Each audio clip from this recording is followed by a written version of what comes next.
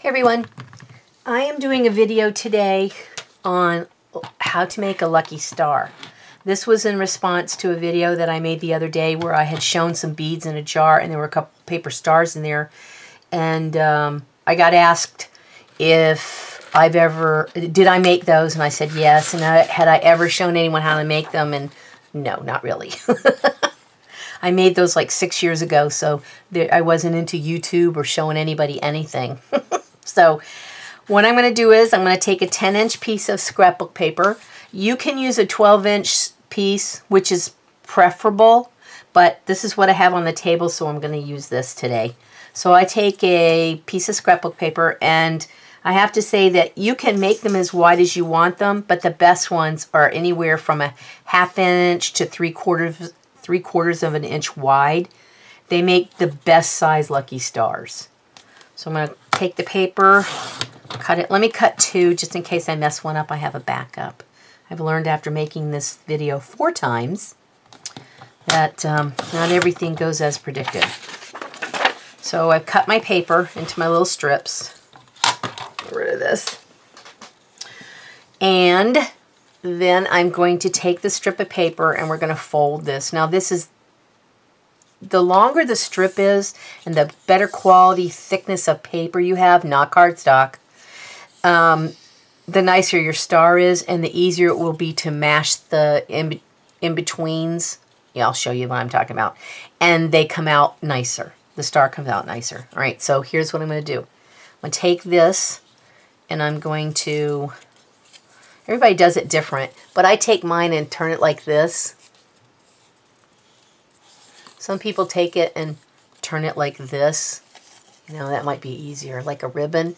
So you're just taking one end on, crossing it over to the other side. And don't make this part too, too long. Okay, so take your paper, cross it over, and take this little, well, I say little, take the tail and put it, fold it up un, underneath the rest of it and put it through the hole and then give it a little pull. Don't jerk on it or you're going to rip your paper. Ask me how I know. All right, so you want to pull on it a little bit so that it's nice and snug, but you don't want to pull on it too, too hard or you really will rip the paper and then you'll have to start all over. And then just give it a little mash down. You don't have to use a bone folder. It's not that kind of situation. All right, so you have this little tail right here. And if it's short enough, all you have to do is just tuck it in underneath here. But mine's a little long, so what I'm going to do is I'm going to fold it up on the end to make it shorter, and then I'm going to take it and tuck it in there. But when I tuck it in here, I have to make sure that I fold it so it goes along this same line right here. So I'm going to tuck it in. Well, actually, go ahead and crease it first and then tuck it in. That'll make it easier. I think that's the way I've seen them do it in the videos. I forgot about it. All right, so there's my crease. Now I'm going to just slide it underneath the other piece of paper. And it's just a, a placeholder, basically. Keep it out of the way. So the concept of this is to go, to make your paper fold to the left and then the right and then the left, and then the right, and you'll see what I'm talking about. So we're going to flip this over to the other side. This was the back side. Now it's going to be the top side. So you take this long strip here, and you fold it up so that it's flush with what you see here. So you're going to give it a little pinch, just, just a soft pinch. And when you do that, you want to make sure that it lines up also with the edge of the paper. So here's the fold and then you want it to line up with this piece of paper right here. So fold it over and make sure it lines up with this piece of paper here on this edge here. Then what you're going to do is you're going to make a little crease again and you're going to fold it over, only this time you're going to lean to the right and make sure it's flush with the edge. You're going to fold it over again and you're going to make sure it's flush with the left side.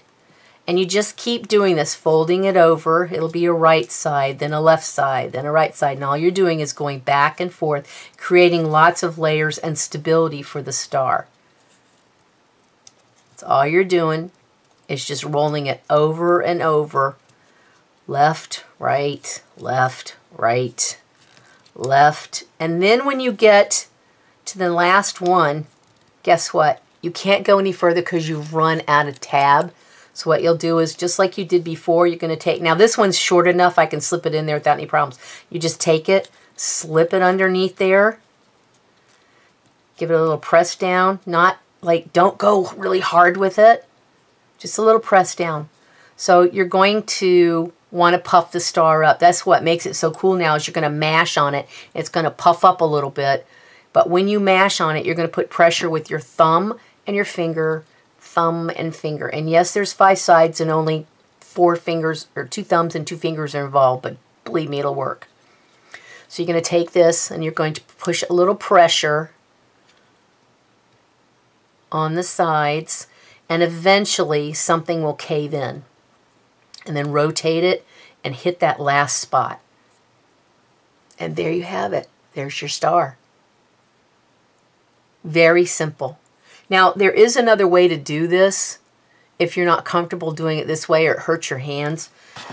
Um, I had someone show me that when it's flat, what you can do instead of mashing it, you know how I had you mash with your fingers this way? You can take it and just give it a mash on one side and get it started. And then take a pencil and roll it in between the two spikes of the stars and then rotate it and roll with the pencil, rotate it, roll with the pencil.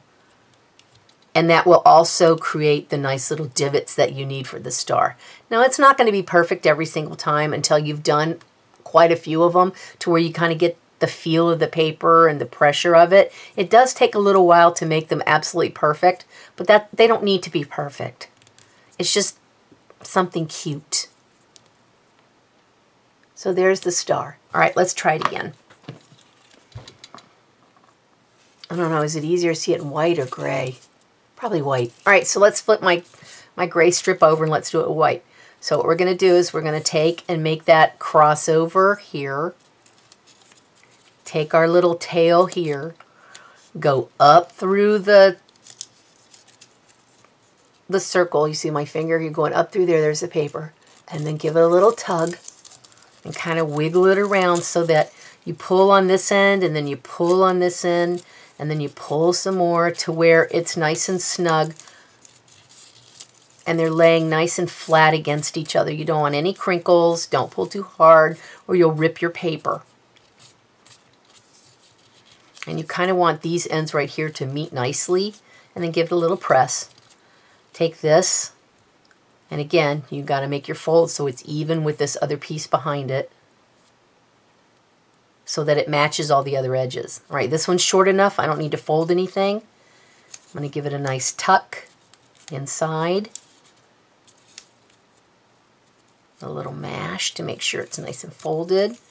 Then we're going to take this and we're going to flip it over to the opposite side, fold, give it a little mash, and make sure it lines up with the left side. You're going to start with the left. Remember? So what you're doing when you roll it, you'll either roll it on this side or this side of the star every single time. So this time, the first way you do it, you roll it to the left. Then you roll your paper over, line it up with the right side, give it a little squish with your fingers, roll, make sure it's lined up with the left hand side, give it a little press, roll it again, do the right, press, left, press, and just keep going until you run out of strip and like I said in the very beginning, a 12 inch strip of paper is much better for the stability of the star. It makes it a lot easier to mash it. Gives it a little resistance, yet makes it stable. All right, so here we go. I don't have enough over here to even go to the other side. So I think what I'm going to do is I'm going to stop. And I'm going to fold this under. See what I did? I just folded the end. And then I'm going to fold it again and tuck it under the last piece. And there's my little snow, my little star.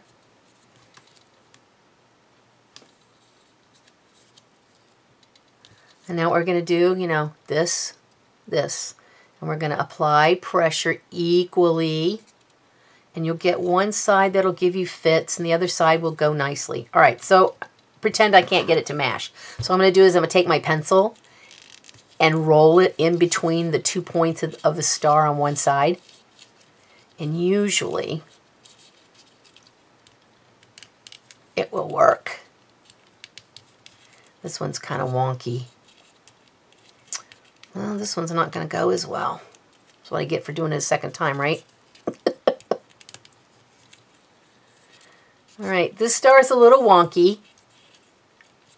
When I puffed it up, it didn't do quite as well as I had hoped.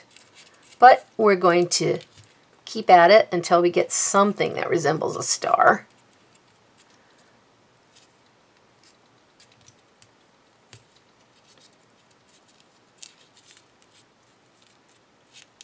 It's a little wonky from the folded paper in the back.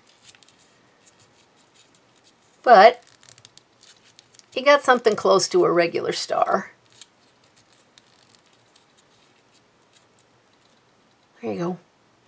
All right, so I'm going to show you what to do with your stars. I mean, they're really cute, and it's it's nice to have a bunch in a jar to make a jar look pretty with all kinds of colored paper and stuff. But I'm the kind of person that, while that's pretty, I want what I make to have some kind of a purpose or an end result that I really like. So hang on while I get my stuff, and I will show you what to do with your stars. Okay, so what we have here is a piece of string. Actually, it's quilting thread folded in half. I'm going to fold it in half, take the end where the loop is, put a clip over it because you don't want well, you don't want anything to fall off the end. I'm going to take this and I'm going to thread a needle. Use a nice sewing needle that um, is sharp, not a cross-stitch needle that is blunted on the end. You want this to be nice and sharp because it's going to go through layers of paper. All right, you thread it. Now you're going to take your stars. Now, this is how I do mine. Other people might do theirs differently. I don't know, but this is just the way I learned how to do it. Take your needle and go in one of the divots, you know, the place where you indentated. Take it and do it smack dab in the middle. Poke, poke it through the paper, hold the star up, and go straight up through the tip on the opposite side of the divot where you stuck the needle in. And then pull. Think my thread's not threaded proper. My stuff has come. There we go. All right, so let's do it again. In the divot, go in the middle, stick the needle in, flip your star up, and makes it easier to go up instead of jabbing yourself. Go up through the end of the point that's opposite of the divot where you put it in. And then pull. And you just keep doing this over and over and over until you get the amount of stars that you want to have on your string. Let's see here. Where's the hole on this one? There it is. And then hold it upwards and go through the end of the point. And you just keep going until you get the desired length that you really want to have. All right, so I'm going to show you what you can do with this to make this an even better project. Okay, I think I've got everything I need. All right, so this is flax. I think it's, yeah, flax. And it, you know, flax comes in, I think, almost like DMC floss, where there's more than one strand to make uh, to make it thick. So I all the other strands off, and I've got two strands on this. Probably one would have been good enough, but I went ahead and did two. So I'm going to show you how to make a garland using the stars that I made for Christmas. So I'm going to go in the divot, like I said before, hold it up, go through the tip of the star. Now what I have here are, I think these are supposed to be like little Christmas decorations. They're little cellophane packages that have a gold loop of some kind on them so you can hang them on a tree. What I'm going to do is I'm going to cut that loop off of there. And I'm going to take my needle and I'm going to shove it right through the package. I want to make sure, do, yeah, shove it through the package. You got to be careful because your package will come unwrapped. Then I'm going to string it on here. See, it's going to come undone. You have to be careful when you do this. I'm going to take another star.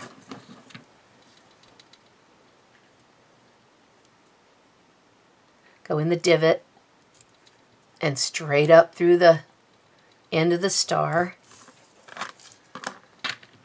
Then I found these kind of little kitschy decorations and it has, you know, it came with these little gold threads for you to put it on your tree and tie stuff on it. I don't know if it's meant to put on a tree or package or what it was, but I'm not using those. Then it has a hole in it right there, has a little loop. So I'm going to take it and put the needle through it. And when you do this, you better make sure that your needle can go through. Then I'm going to take it and put it here like this. So what you have is a garland with your lucky stars. You have a star, a package, a star, a ball. Take another star and go through the divot just like I did before. Hold it upright so you don't stab yourself because I've done that plenty of times, not paying attention what I'm doing. Up through the tip of the star. You see it? Pull. And you just keep going until you get what it is you're looking for, some kind of a, a cutesy thing. All right, another kind of thing that I found, these are, I think, are usually in the pre-packaged Christmas decoration section. This is some kind of a, it's hard, but it's plastic, and there's a hole in each side. So I bought these, and you stick it through there, and then you thread it on. And there you have a star, a package, a star, a ball, a star, a little round I don't know, it almost looks like a little hard candy.